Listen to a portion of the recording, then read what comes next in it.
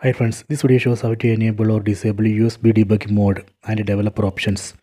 Please don't forget to subscribe this channel. Please like and share the video. First go to settings. Tap on the settings app icon. Go down. Tap on about phone. Under about phone, tap on software information. Under software information, we can find build number. On build number, we need to tap seven times. One, two, three, four, five, six, seven. See the message. You are now a developer. Go back. Go back. Then tap on system. Under system, we can find new option. Developer options. Tap here.